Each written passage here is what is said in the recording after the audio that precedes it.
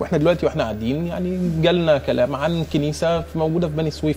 وللأسف الشديد إن وده أنا قلته امبارح في لقاء آخر إن يا جماعة لو هنعمل آه، حظر تجول يا نعمله صح يا ما يتعملش. ليه ليه يا نعمله صح يا ما يتعملش؟ لأن أي ف... يعني أي خرق لحظر التجول واستهانة بهذا الحظر تمثل أرضية للطرف الآخر أو للإخوان المسلمين آه، وكأنهم بيستهينوا أمام الشعب بقدرة الجيش وقدرة الشرطة على حفظ الأمن في البلاد. فده هيرجعنا لوقت تاني كنا بنقول فيه فين الشرطة. فكان الله في عون الشرطة اللي عمالة بيتقتل ولادها آه، سواء أثناء الفض أو سواء وهم قاعدين في أقسام الشرطة بتاعتهم وبيواجهوا العديد من المخاطر الإرهابية. لكن في نفس الوقت إحنا بعتذر أستاذ محمد إحنا حاليا بس بنتابع على الهواء اتفضل. مباشرة صور خاصة للحياة الآن أثناء آه، عملية إطفاء آه، النيران اللي تم إشعالها في مبنى محافظة الجيزة بعد ما قام أعضاء الإخوان بإشعال النيران في المبنى. وطبعا ذلك عقب اقتحامه. دلوقتي بنتابع جهود قوات الدفاع المدني اللي بتحاول السيطرة على الحريق وإخماد النيران اللي أشعلها أعضاء الإخوان بديوان عام محافظة الجيزة.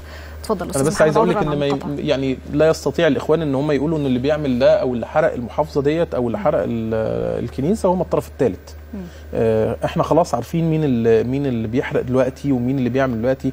وللأسف الشديد اللي الإخوان مش فاهمينه حاجتين. الحاجة الأولانية إن هم تقريبا كده بما يفعلوه من غباء سياسي منقطع النظير هيحاسبوا على المشاريب بتاعت السنتين اللي فاتوا. يعني أي حاجة هيتم إلصاقها بيهم لأن هم يعني للأسف الشديد آه، آه، لم يتعاملوا ب آه، يعني بحكمة أو بتغليب لمصلحة هذا البلد. والحاجة الثانية إن هم للأسف الشديد برضو بيرجعونا لوقت عصيب وفترة سوداء من فترات مصر. للأسف الشديد إحنا لا نريد أن تعود مرة أخرى. اللي هي الفترة اللي كان الأمن فيها بيشتبه في كل صاحب لحية وبيشتبه فيها في كل الإخوان المسلمين والناس بتتعامل معاهم إن هم آه، آه، إرهابيين وإن هم محظورين وإن هم كل الكلام ده للأسف الشديد سيكون رد فعل للأسف على ما ما يفعله الإخوان الآن. وأنا بقول دوت وأنا يعني يعني آه، الواحد قلبه بيتقطع زي ما بيقولوا يعني على اللي بيحصل ده. يعني إذا كانوا هم بيعملوا دوت بالطريقة دي في هذا التوقيت تحديدا وبيحاولوا إحراق مصر فأنا بقول لهم إن هيبقى في رد فعل. طبعا ورد الفعل ده لا قبل لهم به.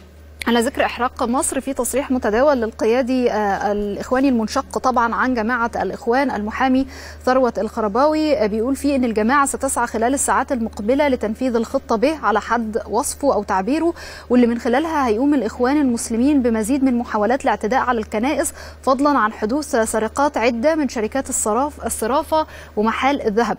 وأشار الخرباوي في تصريحات إلى إن الخطة ألف كما وصفها فشلت فعليا بعدما حاولوا الاعتصام في أماكن عدة لحدوث عملية بلبلة في الشارع أو إحداث عملية بلبلة في الشارع ونشر الفوضى لكن الشرطة تعاملت معهم بحرفية. فيعني بالفعل واضح إن إحنا أمام سيناريو بيتطلب المزيد من ال- التواجد الشرطي والتواجد الأمني وإلا هنروح على فين؟ امبارح كان تصريح لوزارة الداخلية قالت فيه إن هم رصدوا العديد من الاتصالات لقياديين في جماعة الإخوان المسلمين بيدوا تكليفات بحرق مصر. والتصريح دوت كان تصريح رسمي. طيب أنا بسأل إذا كان هذا الرصد حص- حصل وحدث لهذه المكالمات فبالتأكيد حدث رصد لأماكن هذه المكالمات وبالتأكيد حدث رصد لأماكن اختباء هذه القيادات. وأنا أظن إن القيادات ان الإخوان المسلمين جماعة بلا عقل يعني يسيرها مكتب الإرشاد فقط. فإن يعني تم آه، تفوير كده زي ما بيقولوا كده تفوير مكتب الإرشاد ومجابهة التنظيم الدولي للإخوان المسلمين بمنتهى القوة عن طريق المخططات بتاعته إن هي قطع المخططات بتاعته وإفساد المخططات بتاعته أنا أعتقد إن ال- حالة الفوضى اللي هتحصل هيبقى سهل مجابهتها إنما اللي بيحصل دلوقتي إيه؟ إن العديد من الخطط ب ب بتتم لأن الناس ديت لسه ما اتمسكتش رؤوس الأفعى لسه ما اتمسكوش.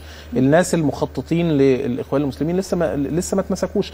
وللأسف الشديد ده آه، إن ما حصلش خلال اليومين ثلاثة الجايين أنا أعتقد إن الوضع آه، سيسوء أكثر. لكن على أي حال من الأحوال أنا أتمنى إن من دلوقتي يبقى عندنا ما نسميه في علم إدارة الأزمات توقع الأزمة قبل حدوثها.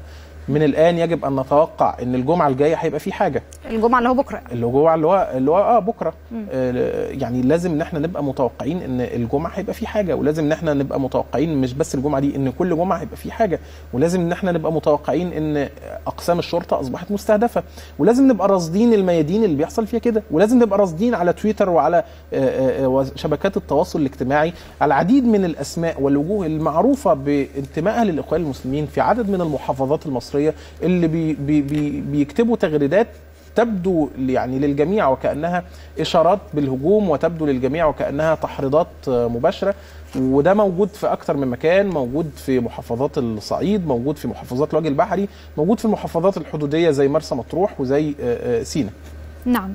أه واضح يعني أستاذ محمد إن في عدد من يعني من الأمور اللي بتحدث في محافظات مصر المختلفة ولابد من مواجهتها بكل حسم وحزم وآخر الأمور طبعا اللي قلناها وطالبنا مناشدة فيها في بني سويف وهي إنه بيتم مهاجمة كنيسة الوسطى ببني سويف وده بزجاجات المولوتوف والحجارة ولابد من يعني تواجد أمني في هذه المنطقة.